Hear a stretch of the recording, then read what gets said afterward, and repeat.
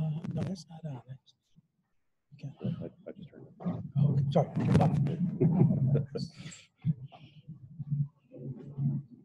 Well, good morning, everyone.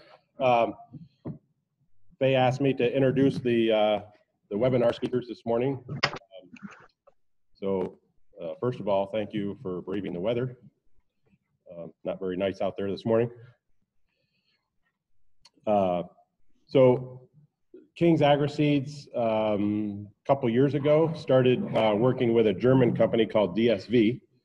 Uh, And they are primary breeders in um, many different crops. Um, of most interest to King's was uh, forage grasses uh, and cover crops. So um, we made arrangements in working with Fay to uh, have uh, two of the uh, primary people that we work with at DSV to do a presentation on their on their cover crop research and their cover crop program, uh, which King's uh, introduced uh, this past summer here in the in the U.S. Um, it goes under the TerraLife uh, brand name, and I'll them explain more about what what that all is and what they do. Um, so we have with us remotely from Germany, um, Heino and uh, Matthias from DSV, and I'll let them take it from here. So go ahead, guys. Good morning. I hope you can hear me. Um, yeah, at first, thank you to uh, to yeah to join the meeting even with uh, quite bad weather conditions, and thank you very much uh, for the invitation uh, to host this, uh, this webinar. It's uh, yeah, as Rod already mentioned, we have this, this collaboration with King's and uh, for for a few years now, and it's uh, yeah, it's it's very nice to to give this this webinar today uh, and we will try to give you a deeper insight into uh, yeah, the function of, of cover crops, um, what they can accomplish to, uh, to uh, soil uh, to soil health, because I think that is your main topic today. It's soil health beyond beyond basics. Um, at first, a few um, yeah, a few information about the Deutsche Saatveredelung, the company we are working uh, for. Uh, we have around uh, 700 employees, um, and we, uh, we are one of the uh, leading plant breeding companies in, in, in Europe. We have quite a long tradition, founded in um, 1923 as a farmers cooperative. so we have in about yeah, four years our 100, 100 year anniversary. And what is interesting, and I think it's a yeah. Um, very unique for, for, for DSV is that we are combining uh, research, breeding, production. So all the all, we, we also do the seed production for all of our crops, advisory service, um, and sales. So uh, we, for that reason, we are also known as uh, yeah, a rotational thinking company in, in um, uh, uh, as, as a breeding company. And we do all those things for forage and turf grasses, for, for legumes, oilseed rape, which is one of our uh, yeah important, most important crops in Europe. Uh, the cereals, corn, uh, and cover crops. And today we want to talk about our uh, TerraLife program that was um, yeah founded in 2007 in in Germany. And what I also would like to add is, as I when I'm um, correct informed that most of you are organic farmers, that most of our products are also uh, available in um, yeah in eco quality. Um, in the next slide, I would like to give you an overview of the challenges we are facing in modern crop um, production systems because yeah that is more or less the reason why we have to have to focus on on soil healthy. Um, we have to observe uh, stagnating or even declining yields in the last uh, decades for example, for, for winter wheat, we had increasing yields uh, from 1950 to 1919 due to optimized management systems and uh, yeah, uh, mineral fertilizers. but um, in the last two to three decades, we can observe um, yeah, stagnating yields. Um, yeah, the question is, we are, we are doing forward um, yeah, breeding and, and also have new, new uh, machinery on the field, but what is the reason why the, the yields are not incre um, increasing further on? Then we have to um, uh, fight against nutrient losses over winter time. That is a very big problem, uh, especially in uh, regions with high uh, livestock husbandry and or intensive livestock, um, livestock husbandry um, and sandy soils. So nitrate leaching that is um, yeah a very important topic in, in, in Europe at the moment because we are getting more and more uh, restrictions on uh, on fertilizer applications Another topic is um, an increased emergence of, of diseases, uh, paras uh, parasites and weeds. Uh, yeah, for example, um, uh, foxtail in, in uh, cereal rotations or uh, um, corn borer in, in corn. So that can be observed over the last years that we get more and more problems with those um, diseases and parasites, then the loss of, of, uh, of biodiversity. That is a topic that is becoming more and more um, um, yeah, on the table in, in Europe because also on political level, uh, uh, the discussions are becoming bigger and bigger because um, yeah, uh, the the crop rotations are becoming more and more uh, more close, and uh, we we can observe that uh, we, we we lose insects and that is a, disadvantage because uh, many of those insects are antagonists for, for the parasites, uh, and we have to yeah we have to stop the loss of biodiversity. Next topic is that we have stagnating or even declining humus contents, and that is yeah one one uh, one of the keys because the humus content is the, is the basis of all the uh, crop production. Um, yeah, we will hear more about it in the in further slides. Um, but that is also a topic um, or problem we have to face. Um, yeah, and uh, due to um, yeah, I think it's it's uh, partly influenced by the uh, climate change. We we get more rainfall in in autumn and, and spring. We get more and more problems with sludge formation, erosion, uh, and uh, yeah, soil compaction. And all of these uh, those um, challenges are more or less connected to um, the quality of our soil yeah, and that is also the key to handle all these challenges. Um, if you have a healthy biological active soil, which is deep rootable, we can see in the in the uh, left picture, then we can have uh, very intensive uh, rooting systems which stabilize our soil aggregate, uh, what can be seen in the picture in, in the uh, bottom on the right. Uh, and we can, yeah, we can imagine that such soil can um, buffer uh, very extreme uh, environmental um, um, and environmental impacts. So if we, if we take care about our soil, then we can uh, yeah we, we can ensure that our um, uh, cropping systems um, will be stable in future. Uh, the question is, what can cover crops accomplish to soil health? And yeah, in, in in the center we have the soil health, and soil health is in, uh, influenced by chemical, physical, and also biological uh, parameters.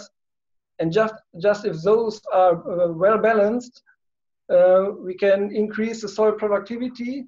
So uh, then we have a good so food quality and a good environmental quality. And I think both is very important for, yeah, for uh, our survival. And cover crops can uh, affect all three of those um, parameters. For example, the, the soil physics. On the, on the left side, we can see that roots can stabilize our uh, soil aggregates. So we can see in the picture that, uh, yeah, we have a very, uh, very stable uh, soil. So we can imagine that such soil is, yeah, we won't have any erosion effects. And uh, the soil has a um, higher bearing capacity. So uh, even a heavier machinery can um, yeah can drive over without a, a, a big uh, damage. Um, furthermore, the soil cover regulates our soil temperature. So here we have a, a, picture from my colleague taken last last summer. On the left side, the field is plowed, and on the right side, it's covered by a cover crop.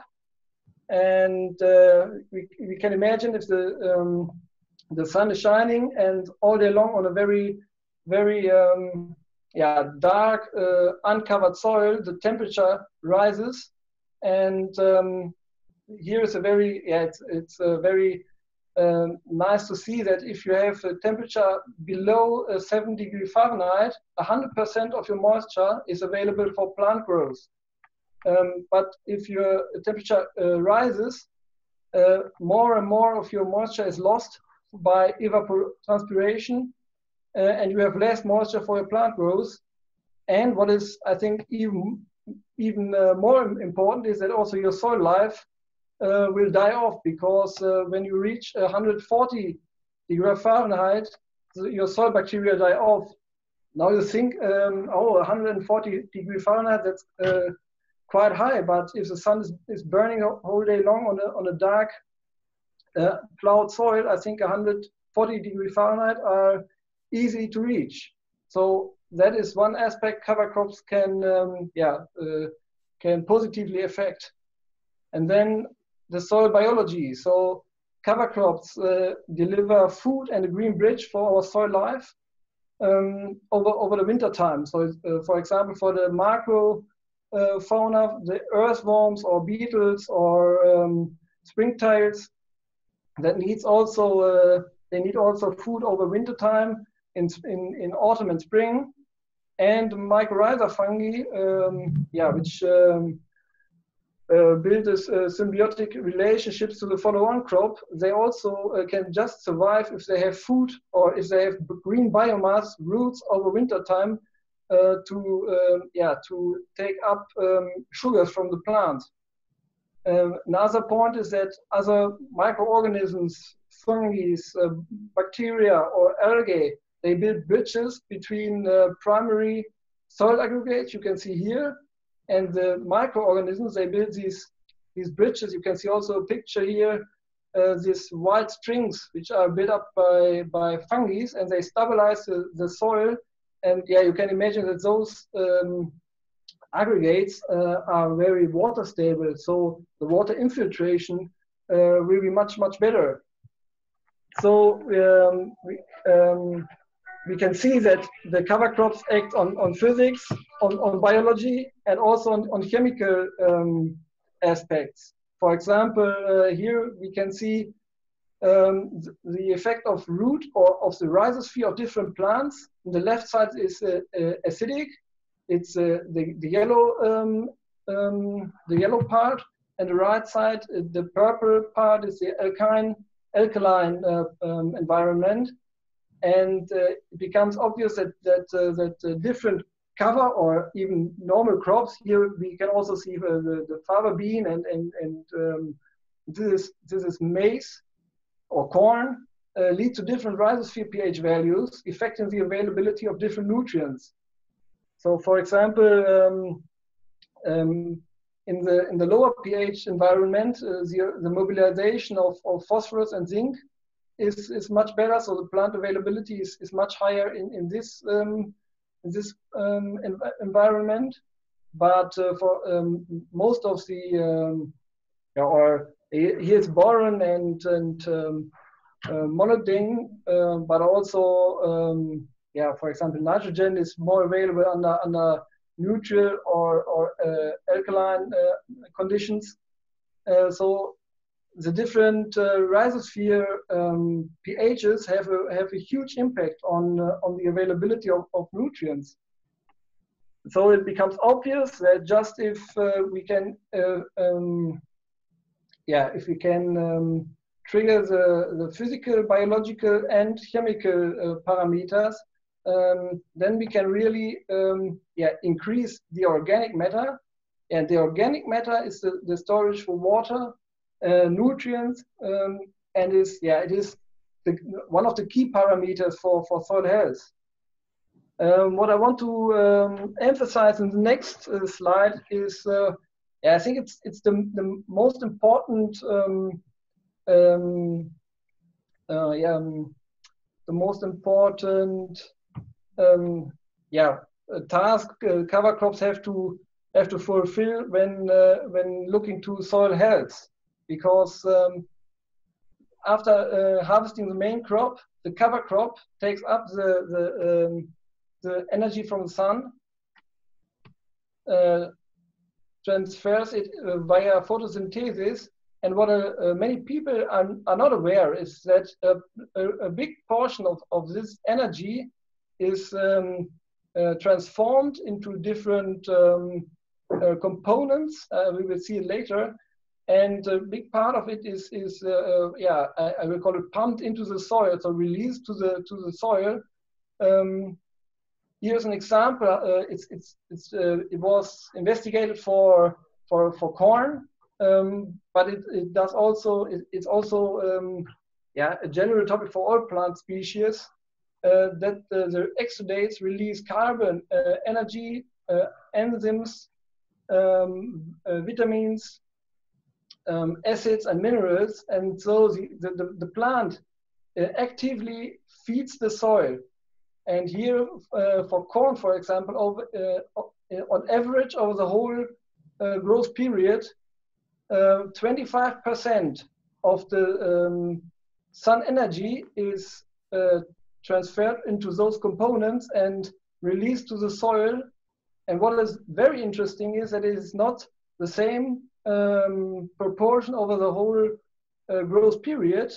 If we look to the next figure, uh, in the end of the vegetative period, it is nearly 60% of the uh, of the uh, energy uh, taken up from from this or uh, transferred by photosynthesis, which is released to the soil as root exudate.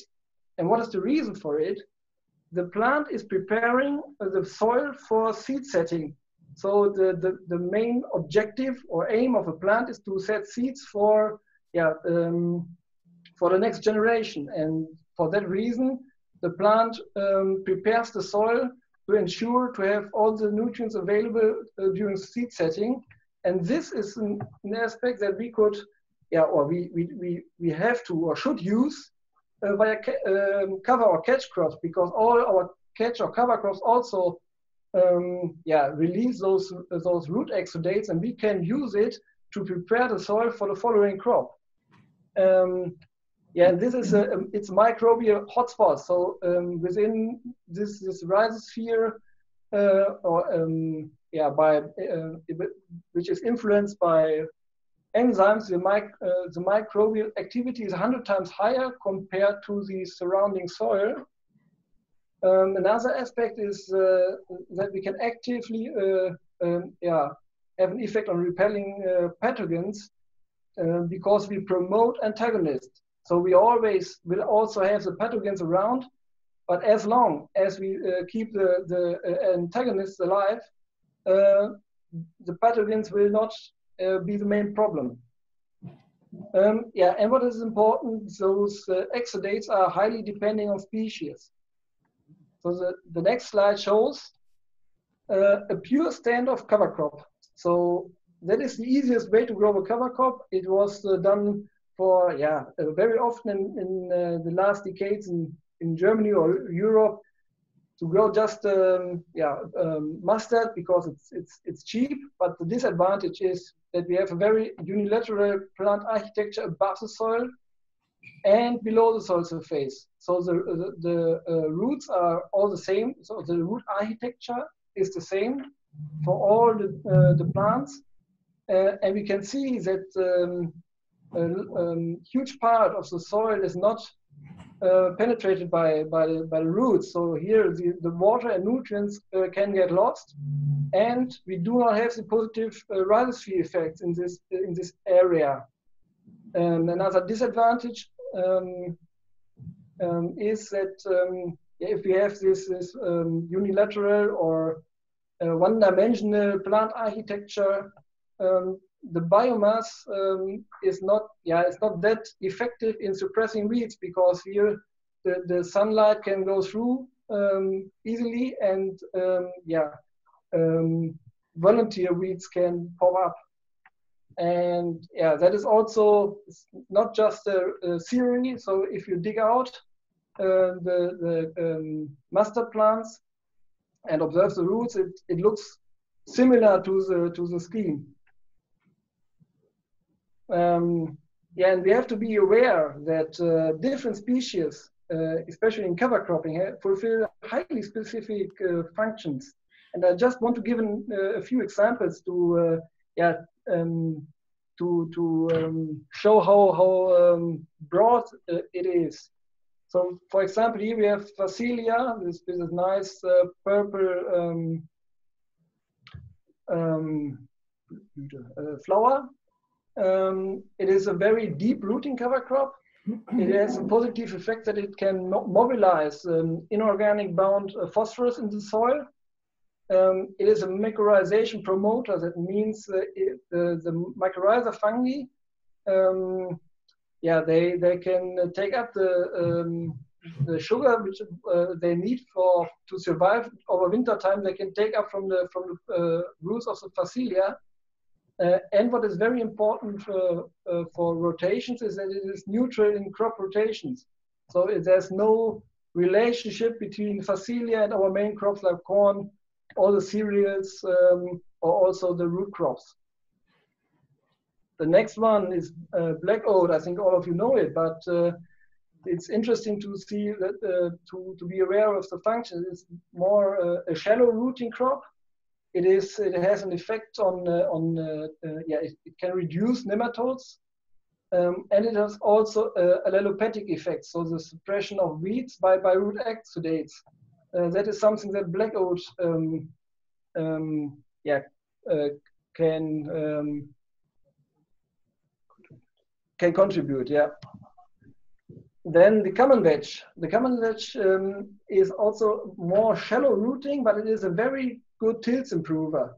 Um, another important point is, yeah, as it is a legume, there's a nitro, nitrogen fixation, so that is also important to, to add, yeah, one of our key elements for, for, for, for a cropping system to add more nitrogen, especially in, in organic uh, farming systems. Uh, when we are not allowed to, uh, to apply mineral fertilizer, it's, it's only always good to add uh, legumes uh, in, in cover crop mixtures. And what is also interesting, most of, uh, or, or, many people are not aware of it, is that uh, common vetch has an antibiosis effect on uh, Streptomyces scabies. It is a soil-borne pest in crop, uh, in root crops. So um, yeah, that is uh, another uh, important advantage of, of common vetch.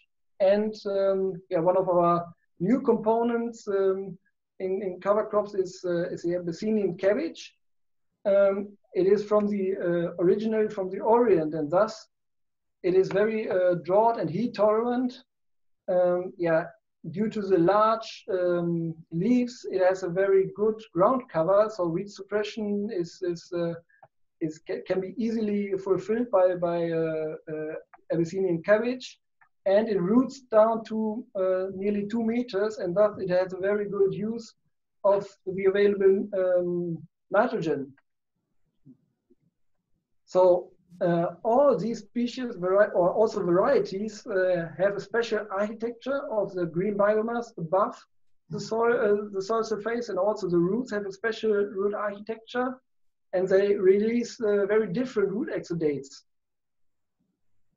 And for that reason, it is interesting, or it is it is important uh, to combine different species so diversity is, uh, is the key to optimize, uh, I would, would like to call it the, the mode of action of your cover crop. Because if you combine the different uh, species, you have uh, different um, rooting, uh, root, uh, rooting systems.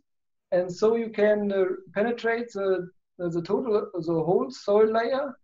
Um, the rhizosphere will, will reach all the soil layers and uh, you have also a, a, nice diversity above ground, um, and that leads to a better weed suppression. And it is a kind of risk management because if you go for just one species, um, if you will have uh, an, an, environmental conditions that are not, um, yeah, that are negative for this, this single species, then it might die off. But if you go for a mixture, yeah, all the, the, the components, all the species are adapted to, to different environments. And yeah, you will, you will always have, um, yeah, uh, a, part of the, of the mixture that, that will uh, ensure your cover crop or your, your cover to um, reduce um, uh, or suppress weeds.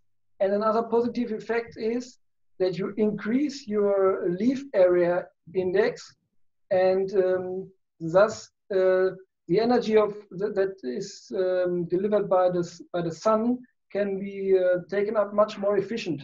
So, and if the sun energy is uh, yeah is transferred more efficient, we also have a higher um, yeah a, a, higher amount of of um, root exudates that can be released to the soil. And also, this is not just just a, a, nice picture. You can also see it if you dig out such a, um, um, a mixture in uh, in the field. So for for clover here the um, uh, common radish, um, we can see the phacelia, black oat, uh, linseed, and another um, clover. So you can see all those different uh, root rooting systems um, also under practical conditions. This slide um, was, uh, I think, two, two years ago, a farmer in, in Germany split his uh, field to test one of the TerraLife mixtures. Um, on the on the right side, you can see a um, um, yeah mono um, cover crop stand with, with mustard, and on the left side, one of the TerraLife mixtures. And yeah, the difference becomes obvious when we uh, take a spade and look into the soil, because it already in, in, in autumn, we can see here that we have a very a well-formed uh, fine root system. So uh, very nice um, uh, soil aggregates. So this soil is nearly prepared for, for planting the next crop in yeah, uh, reduced tillage or, or no tillage. And if you do the same for uh, in, under the mustard, you can see that the, the soil is much yeah much rougher. Um, it's more coarse. So we do not have such a nice uh, rooting system because we do not have the different um, yeah rooting systems. They cannot interact, and it becomes obvious that that the left rooting system or the left um, soil tills is much nicer for to uh, it's much better seed bed for the following crop. Another nice tool we use in, uh, in our um, company is that we grow all the different crops in, in rhizotrons to learn about the different um, root systems. Here, for example, from left, uh, field pea, uh, the linseed. Here we have the, uh, the, the, tillage radish compared to a common radish. So you can see quite different uh, rooting systems. The phacelia, um, this is uh, Niger, uh, that is originally from, from Africa, comparable. So from for uh, it's not it's not the same plant family like the Abyssinian cabbage, but it's also a plant that is very well adapted to dry conditions. Um, and the black oat. And interesting, uh, it becomes very interesting if you grow all of those, um, yeah, of those species in the mixture in one rhizotron. And we did that also in a very big one. It is uh, around five feet deep. And um, yeah, you can see that uh, the root, the, the, rooting system is very well distributed over the whole, over all soil layers. And yeah, you can imagine that uh, the, uh, we have a maximum of, of, root soil interaction. So we have a maximum of, of rhizosphere. That means that we also have uh, um, yeah, an ideal combination and distribution of, of root exudates those root exudates feed the soil life in uh, the soil life in all the different layers. Um, yeah, and they act positively um, on the availability of nutrients. Yeah, and it, it, I think it's, it becomes clear that the roots of the follow-on crop, if it's corn or or any cereal, or doesn't really matter, it, the crop will definitely appreciate it because uh, yeah, the, the, the, soil is so well pre uh, prepared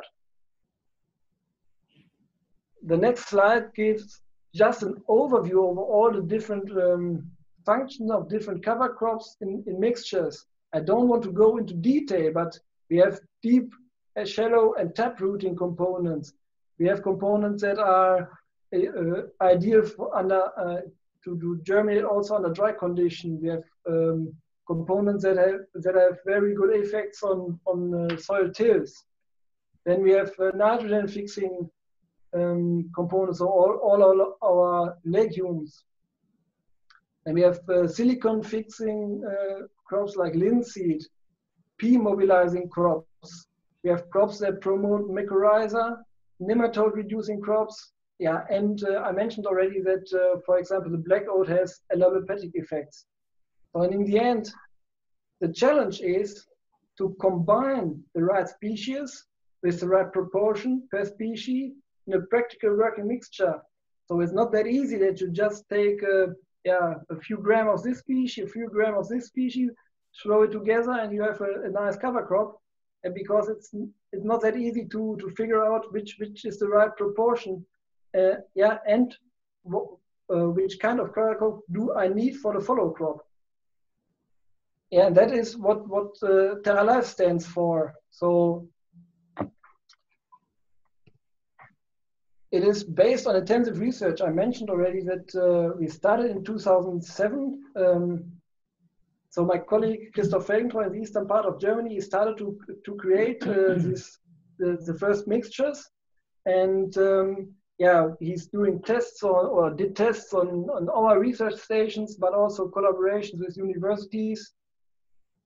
Um, yeah, and his uh, result of a close collaboration with farmers uh, and official consultants. And I think that is the most important point because we always try to, yeah, to to um, yeah, to to act in the best way for the farmer. So uh, try to to have a close contact to the farmer. What is the need of the farmer? Because he needs the, the right uh, um, cover crop for his system. Um, diverse, that means for us uh, to have more than five species per mixture. So that uh, has been defined in the, in the early beginning.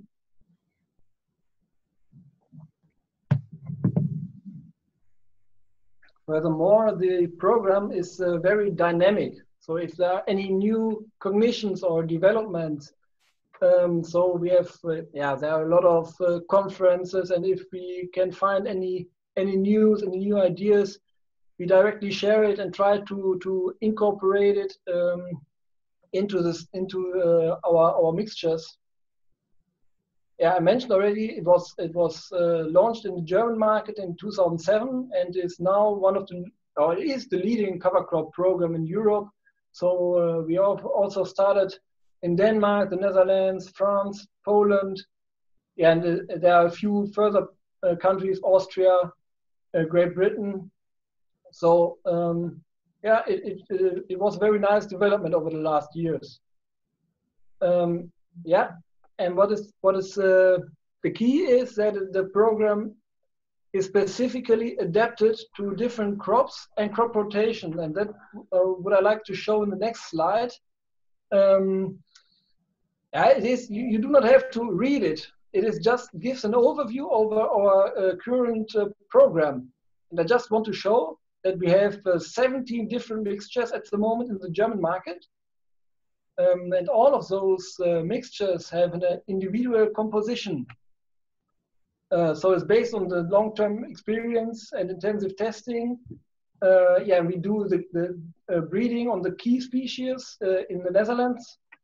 Um, there is our, our breeder for cover crops, um, yeah, and we try to have a, a, high share of certified seeds because quality is also an important aspect for us.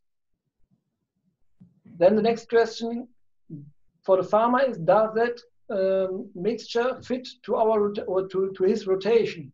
So it is, uh, we have different, um, yeah, all kind of, of rotation, but here all have legumes, uh, potatoes, sh uh, sugar beets, uh, cereals, corn, and so you can see that there are a lot of mixtures for for uh, for different uh, uh crop rotations.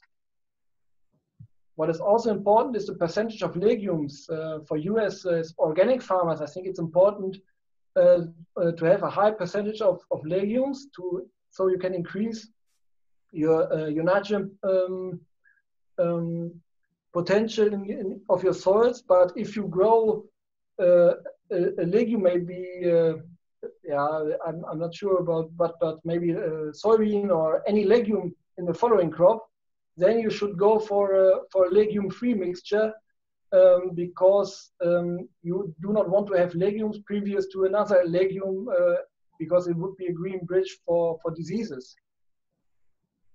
And then we have uh, we take care about the um, um, planting period. So we have uh, different mixtures which are suited to different um, uh, planting times. So if you uh, have a long vegetation period, you, uh, need to take uh, a mixture that is, um, yeah, that can be uh, planted very early because it, it, it has a long vegetative period. Seed setting is always the key. You do you always want do you do not want to have any seed setting in your cover crops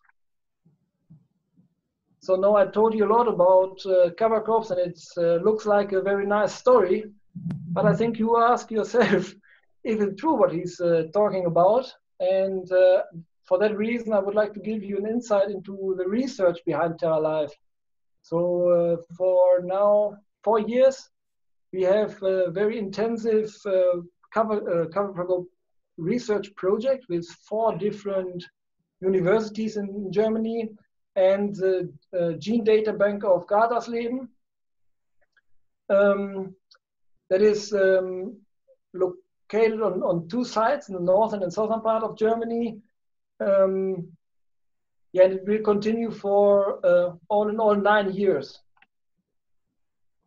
What is the, the, the main research issue of CATCHY? So we try to answer the, the question do diverse catch crops improve the following topics like biodiversity of soil organisms, size and availability of nutrient pools, carbon inputs into soil, nutrient fluxes and uh, subsequent nutrient cycling, soil structure and aggregate stability, and finally, and of course, one of the most important things, crop yields, and for all of those topics, a lot of uh, PhD students are working, um, yeah, and analyzing and uh, writing articles. So there's a lot of work going on at the moment.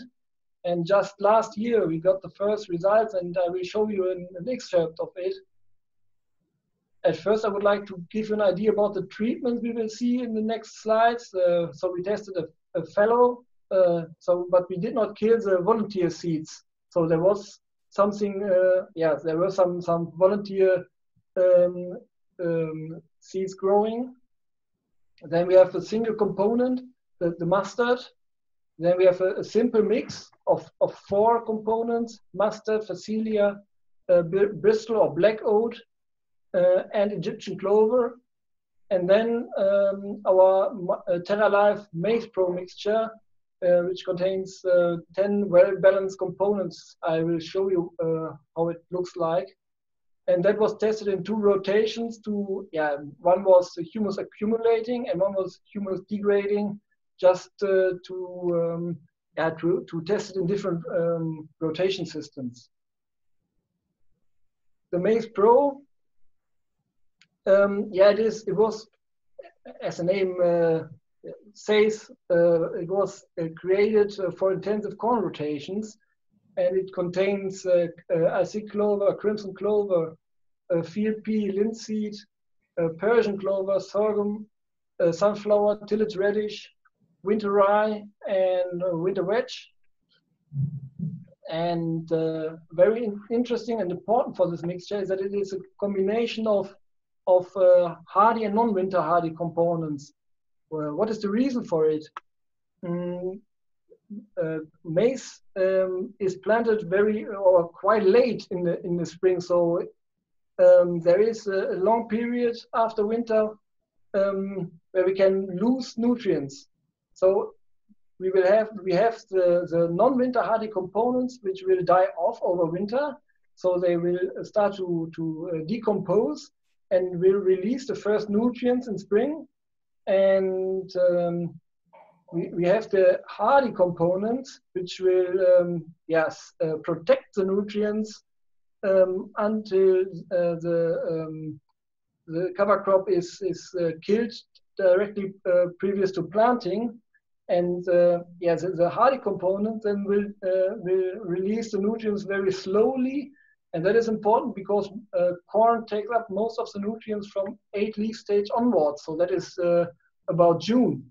And so we have a long period where we do not want to, to lose our, our nutrients. And due to combining uh, hardy and non-winter hardy components, yeah, we have a very uh, homogeneous release of, of nutrients in, in spring and summer. Uh, yeah, another important topic is that the hardy components um, yeah, guarantee a highly uh, effective uh, or efficient erosion protection. Um, yeah, and um, yeah, we, we won't lose uh, a lot of nitrogen via leaching if uh, due to the due to the hardy components. Uh, then we have uh, um, a lot of components like the sorghum and the sunflowers who are promoting the mycorrhiza um, because the mycorrhiza, I mentioned already, are also very important for corn because corn is also a mycorrhiza, um, um, yeah, mycorrhiza plant. It, it, it has this uh, symbiosis with, with mycorrhiza, which, which allows to have a better availability of, of phosphorus. And if we can uh, uh, prepare the soil and, and keep the mycorrhiza from last year alive, that is an important point for corn. Um, then it is a, a mixture which, uh, uh, which uh, has a very intensive root penetration and the new root channels can, then can help the corn uh, during drought. So in last years in Europe, we have problems with uh, early summer drought and uh, the, we have to be to ensure that the maize uh, has good root channels uh, to reach deeper soil layers um, to yeah to yeah to, to stay alive during this dry periods. Um, yeah, and what is also in, uh, important for, for corn is that you can, uh, the, the cover crop uh, leaves an ideal seedbed Mm, so you can directly go for, for no-till um, planting or redu reduced tillage uh, systems. Um, yeah, and another topic we I mentioned already that we have losses of, of insects in, in, in, Europe, or I think it's a worldwide problem. Um, that maize pro is also a good choice to just grow a, a, a flowering buffer stripe. So here's a, a short video. I hope that I can get it started.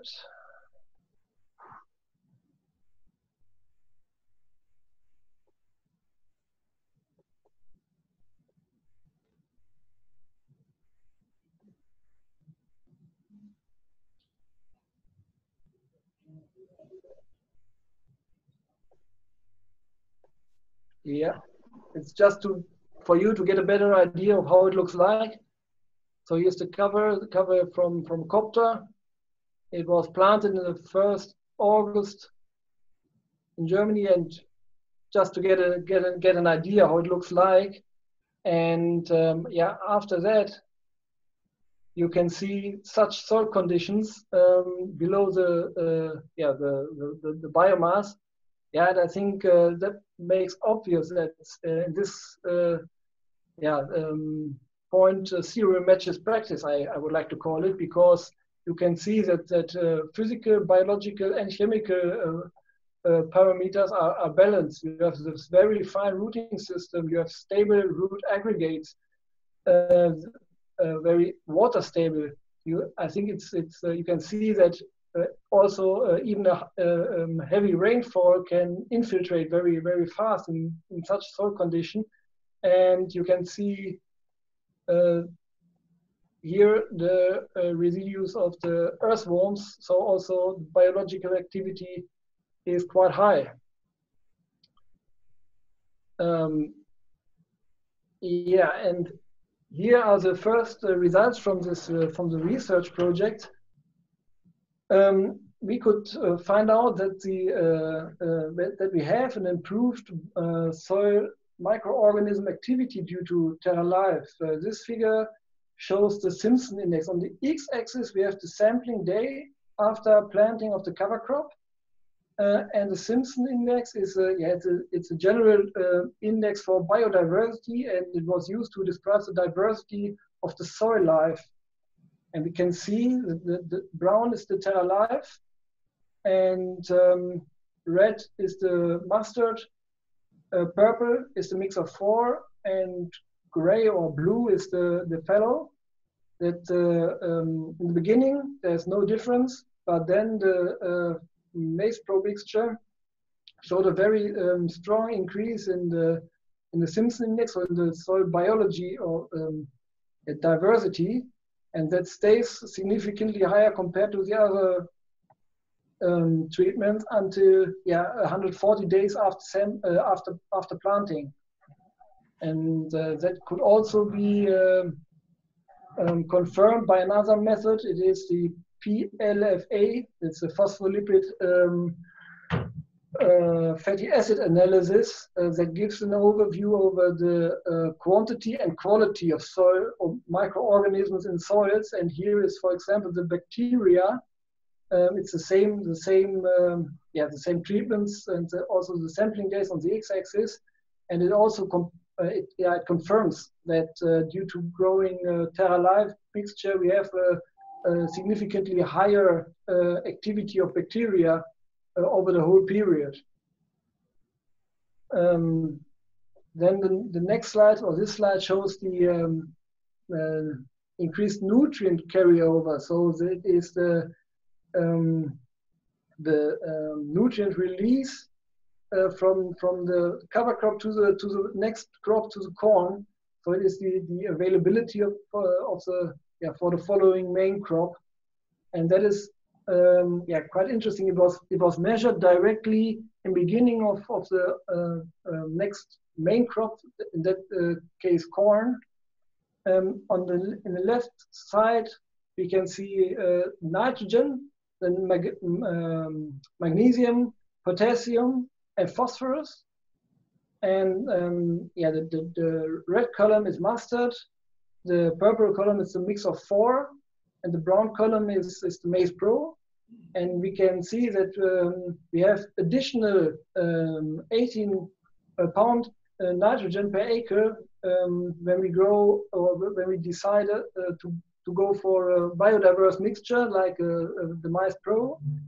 Um, we have additional uh, 1.2 pound per acre of, of magnesium, 24 pound per acre potassium, and um, 2.2 uh, pound um, um, phosphorus per acre, and that sounds uh, seems to be not that much, but especially for for corn in the early growth, it is important. Um, yeah, um, to have a good availability of, of phosphorus because corn um, has a very weak rooting system in the beginning and has a but it, it has high requirements of, of phosphorus and so uh, the um, yeah we have very good um, very good phosphorus availability for the, for the corn. The next slide uh, result shows um, uh, the, the carbon sequestration. So we can, we can show that uh, diverse mixtures increase the netto ecosystem carbon production. Um, here again on the x-axis we have uh, the, the four treatments. Um, and on the y-axis the, the, yeah, the carbon production. Here's uh, uh, um, uh, zero, and if we can see that if we have a fallow, then we have we lose carbon from the system. We have a negative flux, and if we grow any cover crop, we have a we have a yeah positive uh, uh, um, value. That, that means that we that, that we increase our our um, carbon content in, of, of the soil, but we have the highest uh, carbon sequestration if we if we have a biodiverse mixture.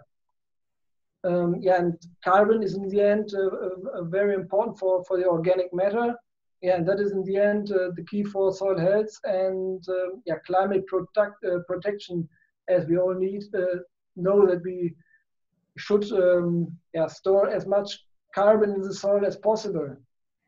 Um, yeah, now we saw a lot of um, research results, and I think to it, it is important to be aware that carbon carbon is a cornerstone for all of the physical, bio, uh, chemical, and biological processes within the soil. Um, and that means that uh, if the soil lacks carbon, um, all other nutrients are, are uh, limited because they, they won't be available. There's no, no nutrient transfer without carbon. And we could see now that we have nutrients available, we have uh, uh, uh, good uh, biodiversity in the soil, and carbon is available. Yeah, and in the end, it, uh, it looks like yeah this the scheme. So all the the different gear wheels of nutrients, uh, of of water, of soil fungus, etc. Um, yeah, they they mesh with each other, and yeah, this system yeah, it, it uh, yeah runs like a like a good tractor, I think. Um, yeah, and you can imagine, and here you can see it, that um, you have also um, you can see it in, in, the root development of the of the corn of the following corn. Uh, directly after mustard, we have more or less weak um, root system, while we have a very strong rooting system uh, after the, the maize pro um, yeah, due to the, the good uh, soil preparation. And yeah, what is also an important point is that uh, we have to look at the yields. So these yields are not uh, the, the, uh, um, the, the, results from the Catchy project as we are not allowed to, to publish it up to now because um, one of the PhD colleagues, uh, students has to publish it. But we have other results from the southern part of Germany um, there were a lot of uh, trials with different farmers, and we could show that um, yeah, here, um, for your information, it is the, the uh, bright, dark, uh, the, the, brighter bars are the uh, nitrogen fertilization, and the darker bars show the the the, um, the grain yield, uh, the, the, the yield of grain corn um, yeah, after growing the mustard, after growing um, uh, growing corn after rigol, growing corn after uh, maize pro, and it's uh, one thing that we have to take into account. If we have a diverse mixture, including legumes, we can reduce um, our uh, nitrogen fertilization, uh, but we get even better um, um, uh, yields so the, the difference is about uh, two tons uh, compared uh, the, the uh, corn after after uh, cover crop or biodiverse maize pro cover crop compared to a to a to a mustard. So that is yeah you, you can also after after a few years see it in, in, in the increasing yields. So simply put, if you have um, um, um, a monocropping uh, mustard or doesn't matter any other crop, you will have an effect, but it is more or less small. And if you go for a biodiverse mixture, the effect size is much bigger, and so you you can uh, yeah, affect your soil health uh, much much more and increase it. So the last slides, uh, I would like to give you an overview over the activities um, and the mixtures we we um, have in the US in collaboration with King's.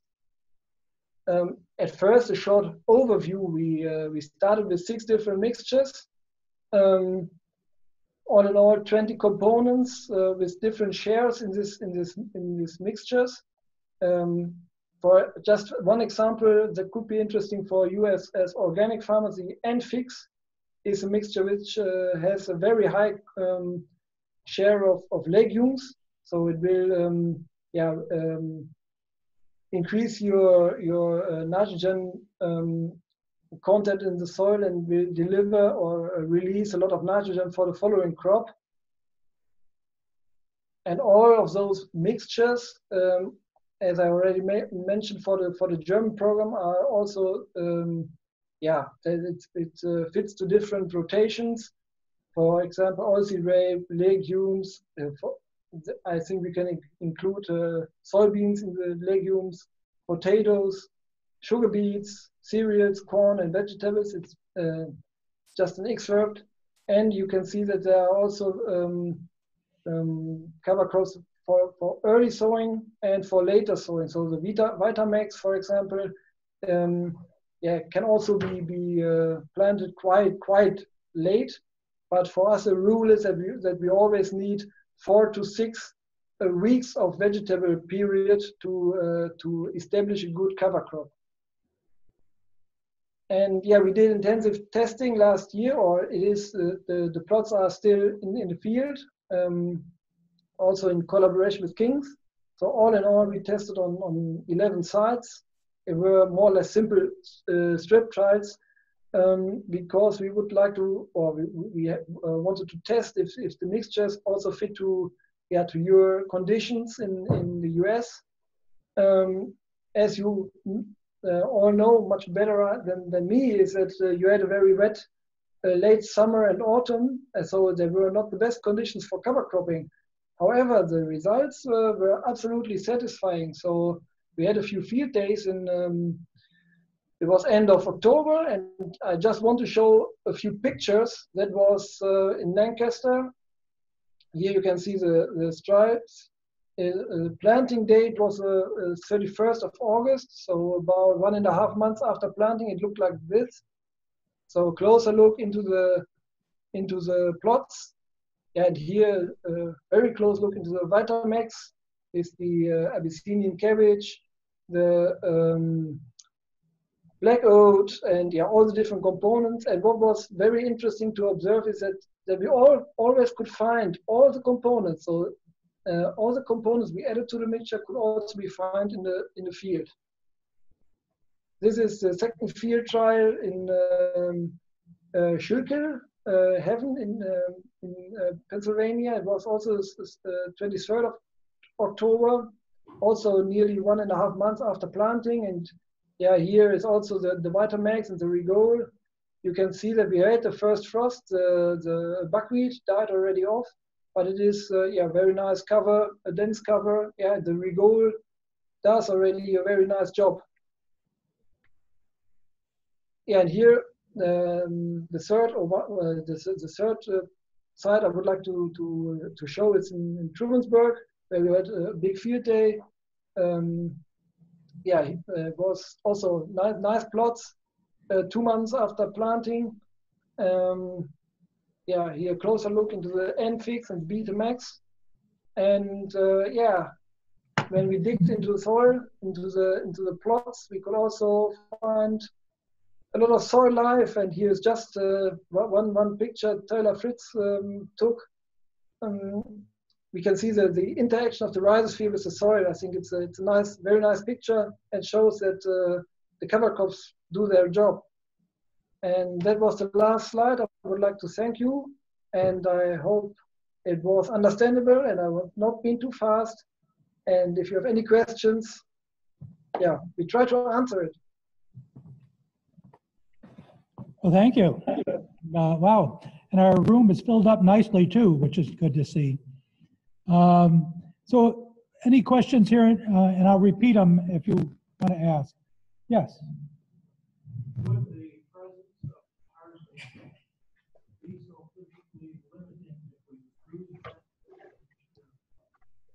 So the question was, is if there's a hard pan uh, in the soil, would it would it defeat the uh, some of the benefits of the cover crops? You understand hard pan? Yeah, yeah. Uh, I think you mean uh, soil compaction. Uh, a compacted, a very hard compacted layer. Yes, about uh, usually about you know the plow pan. Usually it's about eight ten inches down. Yeah. Okay. Um, yeah, I think uh, we have uh, one mixture is a Rigol DT, which has a lot of components uh, with a very aggressive uh, rooting system. But what is very important to know is you won't have an effect if you just grow once uh, uh, such a cover crop. It is an effect that, yeah, it is a question of the system.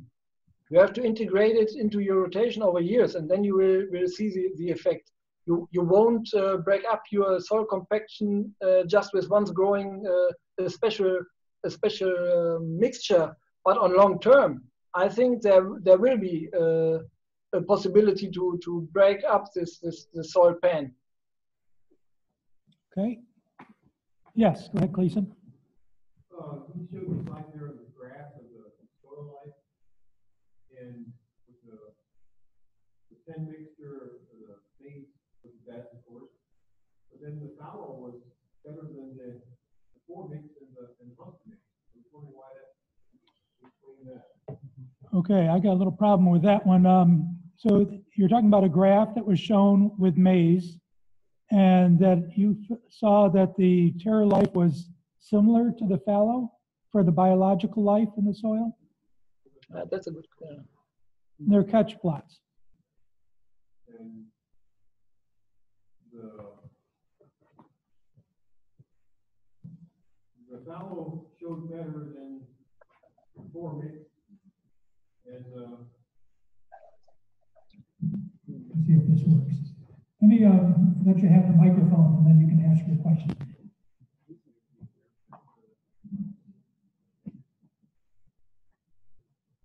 on the fallow ground on your test box, Can you hear us okay? Yeah, could be better, but I think we. I, I- I think I, I got the question more or less. Put, put it right up your mouth, please. Um, I think it is. the, the fallow ground showed more soil life than the four mix and the mustard mix. I think that's Oh, There you go. that's it. I think Yes, that's, you it. you you you mean that this one? this one, right. Yeah, yeah. There's an explanation. I I, I mentioned that the fellow, um, the, uh, the volunteer weeds have not been killed up. Uh, so there was uh, th- there was uh, a kind of um, yeah a kind of mixture growing was kind of weeds that were growing. So uh, it was no not not just black soil. And another aspect is that we could found out in the also in this project that mustard can can partly have an, an, a negative impact on on some um, microorganisms because of uh, yeah special root exudates. So um, that is that is the reason for for this uh, curve. So it is it is not a um, yeah um, fellow ist nicht yeah. Mm, So it's, it's not yeah. Yeah, it's, it's not a it's not a black fellow. So it's it's uh, there- there were weeds growing, and that is that that is the reason. So uh, there there was something growing, and if you have any plants growing, then you have a, a kind of a positive effect uh, effect. But you have to take into account there there are growing um, um, plants, a species that you do not want to grow because it is wheat, for example, and if the wheat is growing um, as a cover crop, then you have always a green bridge um, for, for, uh, for example, for fusarium uh, or for aphids. So uh, it is a, a, a kind of an effect of on, on the on the soil life, but it is negative in your rotation because you will have problems with with other diseases which can be yeah uh, which can survive over winter. Is it, does that answer the question? Yes, it does. Any other questions here in the room?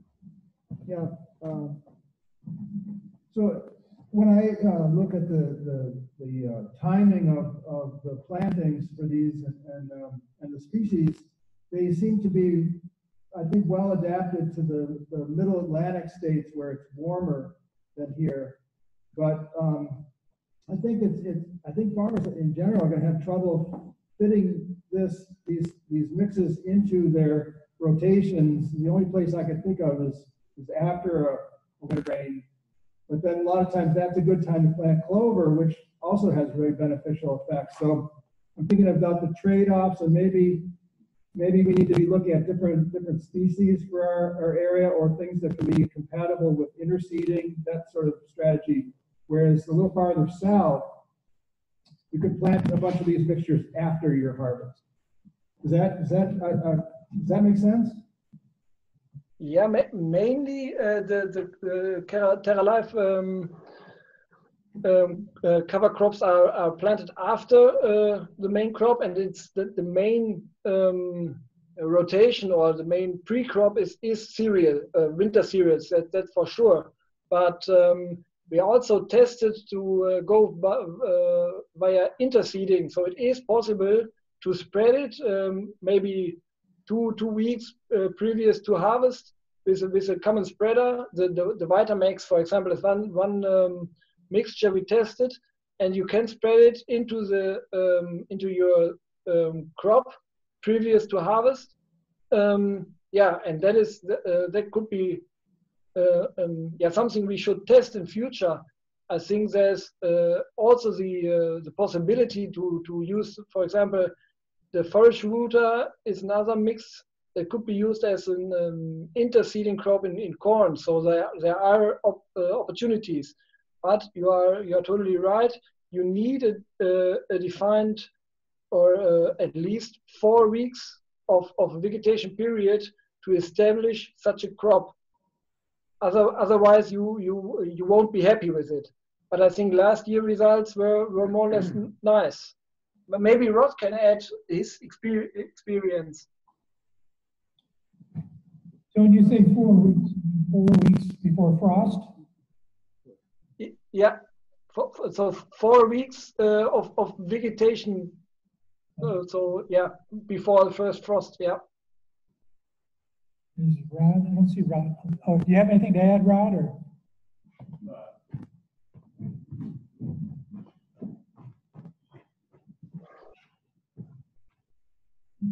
So I, I would just say that in general, these mixes are geared toward uh, seeding after uh, a small grain or, or possibly in rotation with uh, vegetable crops that come off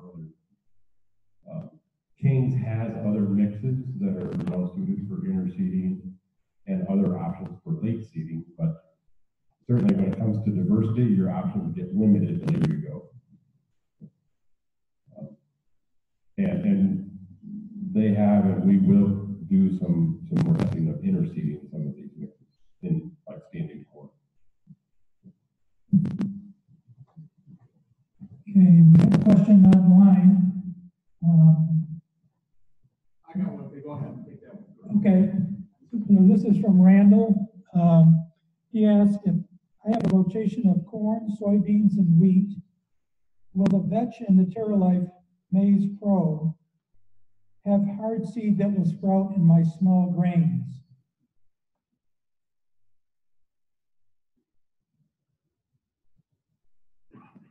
I didn't get it.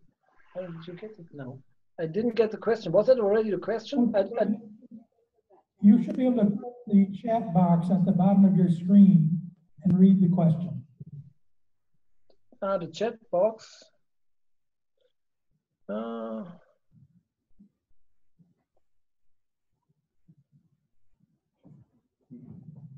Right, it should be orange. If you use your cursor down near the bottom, render. Well, I'll, I'll try again. So that this farmer has a rotation of corn, soybeans, and wheat.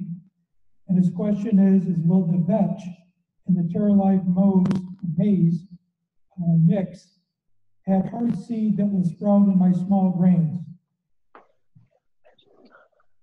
Uh, Yeah, no, I opened the chat. I can read it.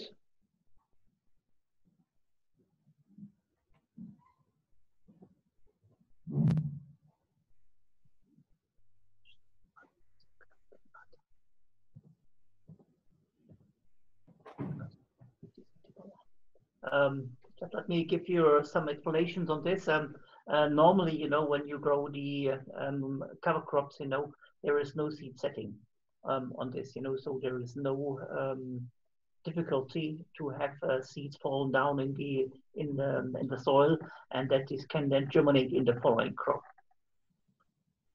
So, so see, Answer, answers this your question? Yeah, we'll wait for Randall to respond with the answers. And the, it is very important to to stop the growth of the cover crop previous to seed setting. And uh, for uh, we recommend always to go for to, to roll it. Then then you stop the growth, and there you won't have seed setting, and you can efficiently stop uh, the growth of your cover crop. But you should not, um, yeah, kill it off by uh, by uh, rotor. Um, by, by mulcher, because then you will lose all your plant uh, juice and you will lose all the nutrients. Yeah, in very warm climates, um, uh, you have sometimes problems with um, falling down uh, to the soil uh, with buckwheat. Yeah. So, for example, if you have a very long time um, for the um, um, growing of the um, the the cover crop, then uh, you can see sometimes uh, seed setting and also seed falls down of this. Yeah. In this case, you know, you either have to um, use a cover crop without the buckwheat or um, also to destroy or roll, as Matthias said, just to know the uh, the the field um, so that there is no seed setting. Uh, Matthias and Heino, this is Rod. I'm I'm not sure you're quite addressing the question. I think it's Okay. more uh, concern about uh, hard seed uh, of the vetch that would have a delayed germination and, and potentially be a weed in, in a future crop. Uh, you mean the, uh, the, the the seed we are sowing? You mean? Yes, yes. Yeah. Um, yeah, normally um, um, the uh, the hard seed is not a so big a problem, you know, in the in the vetch. You know, uh, there is uh, normally a very very low percentage in vetch with with seed. This is our experience. There is more um, um, difficulties, you know, when you have clovers, you know, um, on this inside, you know, where you have um, more hard seed inside. Yeah, uh, but this is uh, very seldom that, that we see this. We do not see also in our uh, mixtures here in Europe um, that there is a lot of volunteers from cover crops in the following crop. Yes, and I think the other uh, thing is that uh, you're not going to go directly back into a small grain crop. So if there would be delayed germination in a few seeds, that's going to occur either in the corn or soybean crop and Mainly, yeah. be, be Yeah, going cool. back in the, in the small grain. But That's right. That is a consideration uh, that people need to be aware of, particularly Mm-hmm. organic, where they can't spray that out of the crop. Yeah, of course, yeah.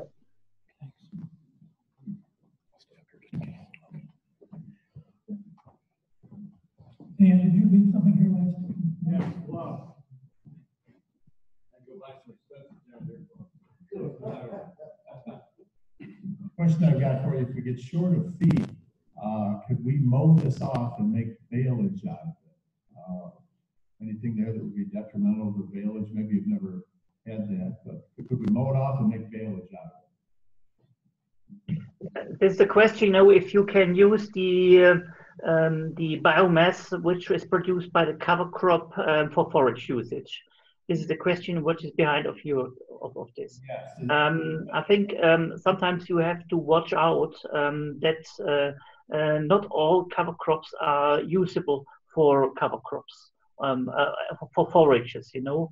Um, when you see our forage router mixture, for example, there we have um, grasses inside, uh, plain ray grasses, um, um, and ray grasses and uh, Italian ray grasses and uh, um, and clovers. You know, this of course you can definitely use as a cover crops.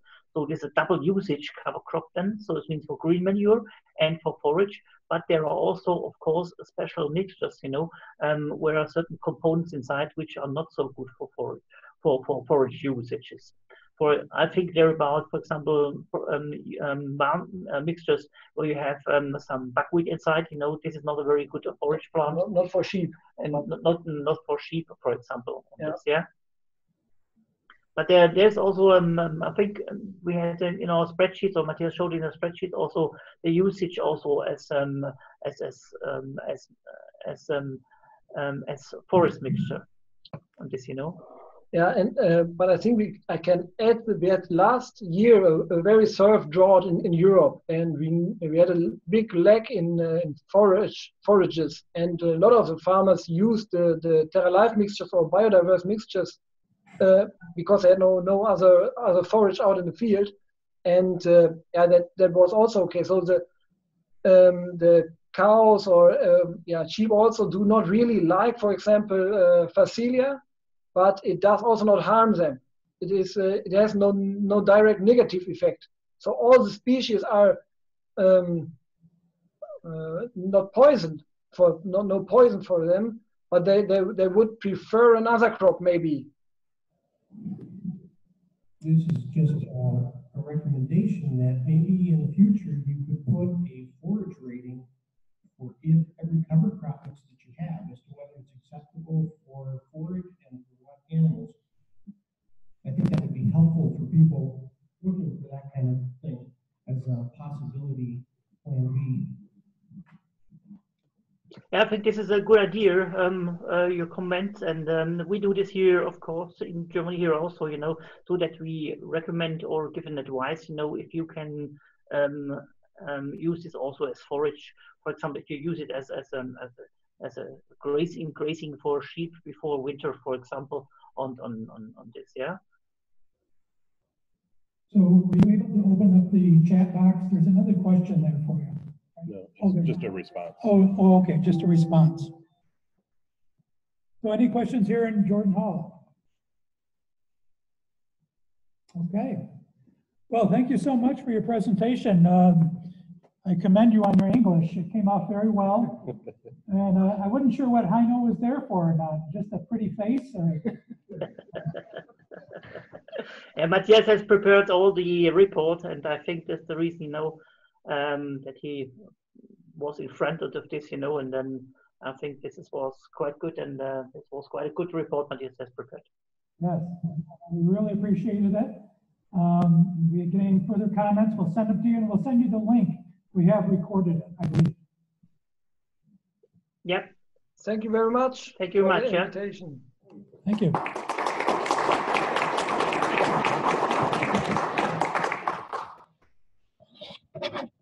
You're still on, you can put- Bye. goodbye. Goodbye. Have a good day. Thank you.